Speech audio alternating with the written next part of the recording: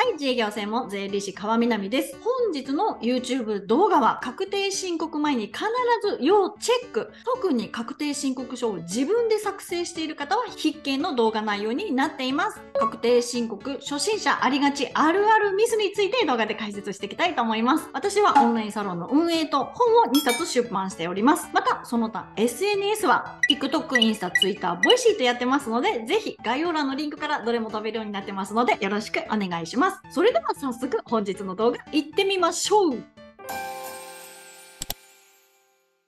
はい、それでは早速本日の動画の内容いってみましょう。確定申告初心者やりがちミス自分で申告している方は必見になります。本日の内容です。確定申告やりがちミスということでね、税額が変わってくる項目多々ありますので、しっかりと最後まで押さえてください。まず1つ目、現金がマイナス事件。これもね、非常に多いです。そして2つ目、通帳の残高が不一致事件ですね。そして次、多いのが売掛金の計上ミス。これ、売上が漏れることになりますので、税額変わりますので、お気をつけください。そして、経費の二重計上。そして、減価償却の処理ミス。これも多いです。そして最後、事業税の計上上漏れ。こちらも多いので、皆さん気をつけてください。はい、そして最後、まとめになります。特にこのびっくりマークのところ、税額が大きく変わる箇所になりますので、皆さんしっかり最後までチェックの方してください。それでは順番に解説していきたいと思います。本日の内容なんですけど、今回の動画はこちらの用紙のミスあるあるについて解説をしております。次回ではこちらの用紙、よくある初心者がやりがちなミスについて解説しますので、ぜひ次回もチャンネル登録をしてお待ちください。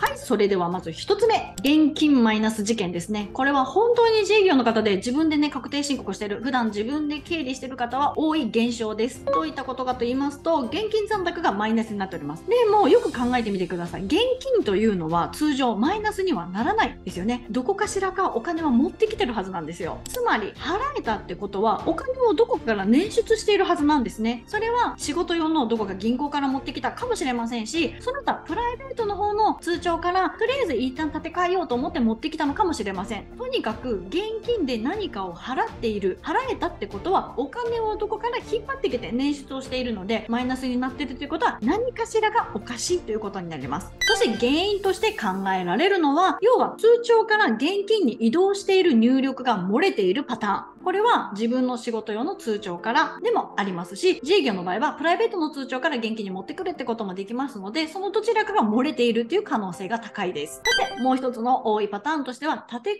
をしたんだけど、その処理の入力が漏れているよっていうことが多いんじゃないかなと思います。要は、立て替えて支払ったんだけども、その処理の入力がされていないとか、とりあえずどこから持ってきたお金を、要は現金として入力されていない、要はつけていないということがね、原因に考えられますので、皆さん、現金残高マイナナスになっているって方は、一度見直してみてください。そしてもう一つのパターンとして逆パターンです。マイナスの方も多いんですけど、こちらも非常に多いです。現金残高が何百万もあるっていうようなね、パターンもあります。これどういったことかと言いますと、手元にもう現金が何百万もないはずなのに、経理上は何百万も現金残高が残っているというようなケースが考えられます。これの原因は何かと言いますと、こちらですね。要は自分のビジネスで稼いだお金を生活費の方に移動した、もしくは何かの支払いのために持っていったのに、この生活費の入力の漏れというのが大きな原因となります。皆さんね、ビジネスで稼いだお金というのは使わないってことはないですよね。また使う場合でも経費にだけ使うわけではなくて、もちろん自分も生活していかなければなりませんので、生活費の方に持っていくっていうことがあると思うんですけど、その生活費の入力、持っていったよっていう入力が漏れていると、この現金残高が何百万も残っていってしまうという原因となります。そしてこちらの今言ったこの生活費の入力漏れとか、プライベートの方から現金持ってきたなどなど具体的な仕分けを解説してる動画がありますので、この経理レベルアップ、事業貸しと事業借りの動画ぜひ見てください。これね、皆さん迷うんですけども、なかなかピンとこないということで、この事業貸しと事業借りの使い方がわからないという方がね、自営業の方多いですので、この動画でしっかりと押さえてみてください。現金がマイナス、もしくは何百万もあるのはこのような原因になってますので、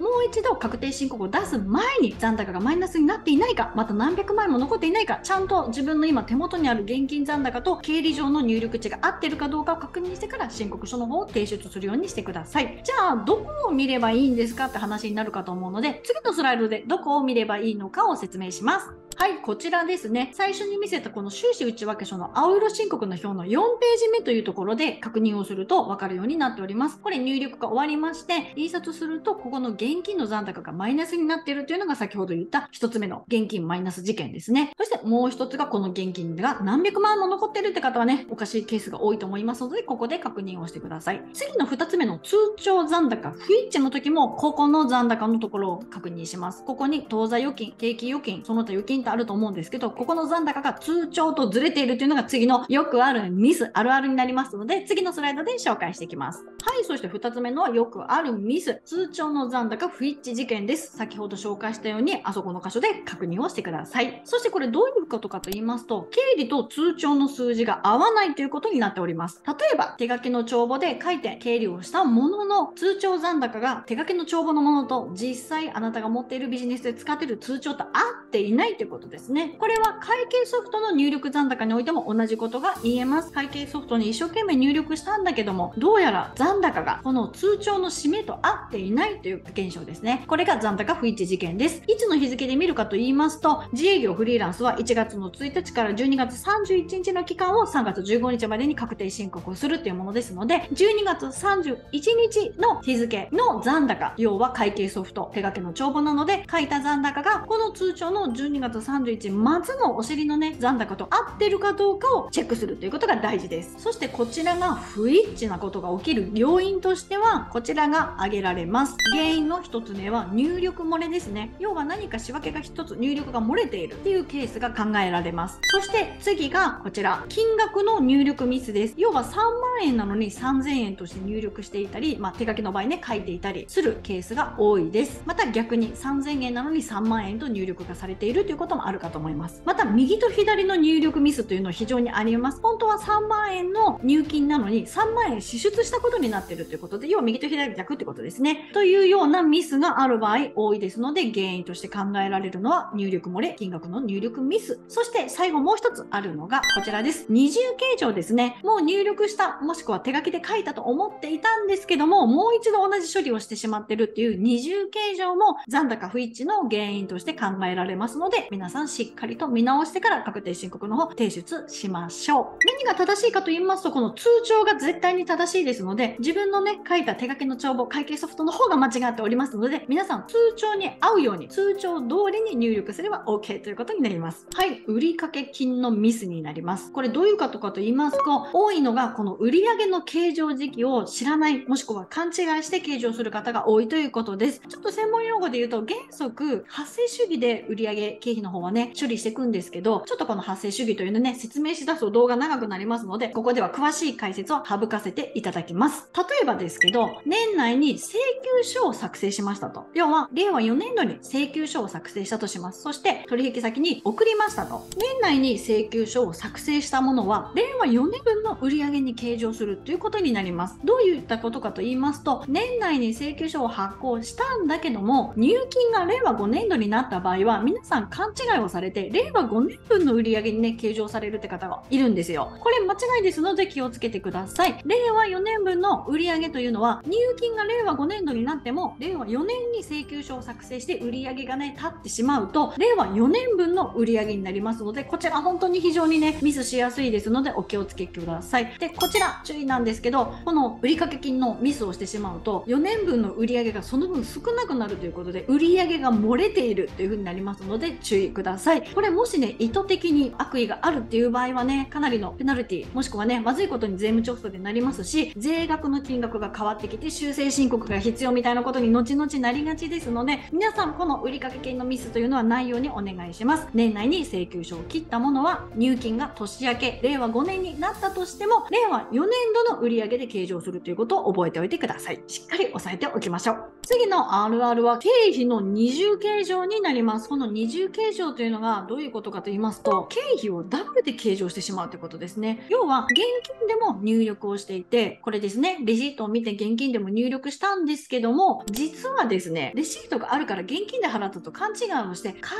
ド払いだったって時があるんですね。で、カード払いになりますと、通帳の方でもカード明細を見ながら入力することになるので、現金でも入力をしてしまって、通帳でも入力をしてしまうというふうに、ダブル帳というミスが起こりやすいです。カードをよく使われる方というのはお気をつけください。これ結構あるかと思います。ま、これは原因は先ほど言ったようにカード払いなのに現金で処理をしてしまってるってことですね。ですので、このミスを防ぐためにはどうすればいいかと言いますと、レシートや領収書にカード払いですよっていう記載がされていますので、そのチェックをするようにしてください。入力をするときに、要は現金の入力をするときに、レシートや領収書にカード払いと下に書いてないかどうかというのを皆さんしっかりと確認をしてから入力するようにしてください。はい。そしてこれも多いんですけど、減価償却の形状ミスについて次のスライドで説明をします。はい。減価償却についてのミスです。これも自分で確定申告されている方は非常に減価償却に関してのミスが多いです。これはまず1つ目、減価償却のね、基礎として10万円以上の資産を購入した場合は、減価償却をするというルールがあるんですけども、そちらの方のね、ルールを知らずに消耗品費で処理をしているっていう方がまず1つ目、よくあるあるあるミスですね。これお気をつけください。また、もう1つですね、価値半分ができてない減価償却のミスというのも多々あります。どういったことかと言いますと、プライベートでも使うものなのに、例えば車が分かりやすいかもしれませんね。自営業フリーランスの方で、車を持っている方で、仕事でも使うし、プライベートでも使うのにもかかわらず、減価償却費を100%経費として計上している。まあ、事業用で100%計上しているっていうのはミス、要は間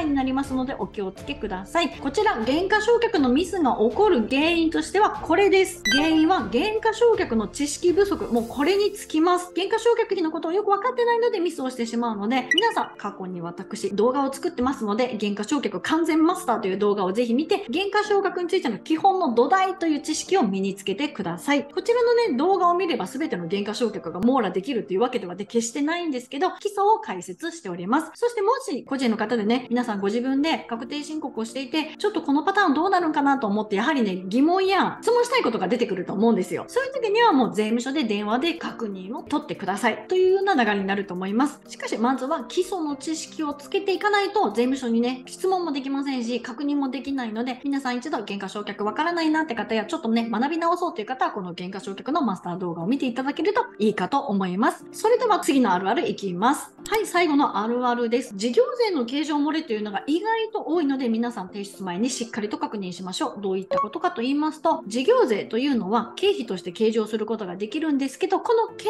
上が漏れているって方がね、非常に多いです。事業税は中には2期に分けてね、分かりますので、1期分目は上げているんだけど、2期分目が漏れているということがね、多々ありますので、計上がね、しっかり漏れていないか確認してください。事業税というのは、租税効果という勘定科目を作って入力、処理をすれば OK です。そしてもう1個注意点、これもあるあるなんですけど、事業税というのは計上漏れされることがね、今多いよって言ったんですけど、逆にこれを計上してしまうと、ミス、要は税額が変わってきますので、こちらミスの内容に、こちらの方も合わせて頭に入れておきましょう。これ本当に多いんですけど、所得税と住民税を経費にしているっていうパターンですね。これ、事業税や消費税の税金というのは経費になるんですけども、所得税と住民税というのは経費になりませんのでご注意ください。これ本当に非常に多いです。これどうやって処理をすればいいいいかと言いますと、事業貸しを使って経理処理をすれば OK になります。事業税や消費税は経費になるので、租税効果と処理をする。逆に所得税、住民税というのは経費になりませんので、事業主貸しで経理を処理をするというのを提出前に必ず確認するようにしてください。これは本当に多いミスので気をつけましょう。はい、まとめです。確定申告やりがちミスということで、まず1つ目、現金がマイナス。そして2つ目、通帳の残高が不一致事件ですね。そして売掛金の計上ミス。要は売上が漏れることになりますので気をつけましょうという話です。そして経費の二重計上。これもまずいですよね。これ原因はカードで払いのものを現金で処理してるっていう場合があるかと思います。そして減価償却の処理ミス。こちらも多いです。きちんと減価償却について知っておかないと、自営業フリーランスの方、確定申告をミスする原因となりますので、しっかりと学びましょう。そして最後、事業税の計上漏れですね。これ、所得税、住民税は経費にはならないので気をつけてください。以上、どのミスも、まあ、特にですね、この売掛計上のミス、経費の二重計上、減価償却、事業税の計上は税額が変わる項目になってますので、提出前にしっかりと再確認をしてから申告書提出することをお勧めいたします。そして皆さんにね、これもう一つご案内なんですけど、提出期限内でしたら、確定申告書は再送信、もしくは再提出すれば、そちらが新しい情報として上書きされることになりますので、ご安心ください。これ、提出期限を超えてしまいますと、要は提出期限というのは3月15日ですけど、3月15日超えてしまいますと、修正申告等々ね、ちょっとめんどくさいことになりますので、期限内ならミスはね、ハードル低く修正できますので、提出前にもう一度確認をする。もしくは、やはり確定申告がギリギリだとね、もうね、その修正する時間、またミスしたなって気づく時間がないですので、早め早めに取り掛かることをお勧めいたします。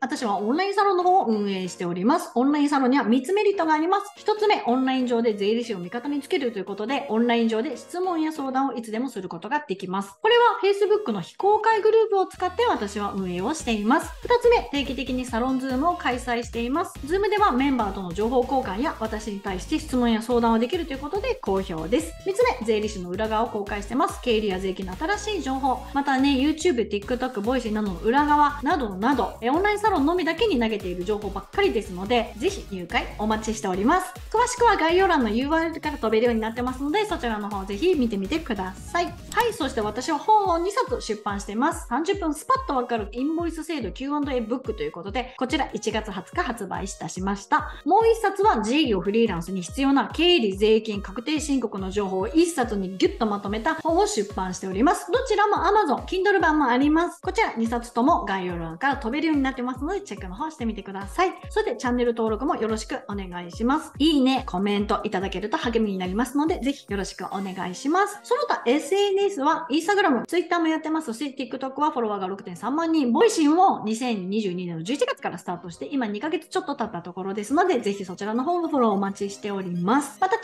た話をしておりますので、よろしくお願いします。はい、それでは本日の動画以上になります。今回はね、自分で確定申告をしている方、必見の確定申告によくあるあるミスを紹介いたしました。次の動画でですね、もう一つのね、バージョン、紙の方のバージョンのよくあるミス紹介いたしますので、ぜひチャンネル登録してお待ちください。いつも最後まで見てくださってる方、本当にありがとうございます。自営業専門税理士川南でした。またの動画でお会いしましょう。それではまた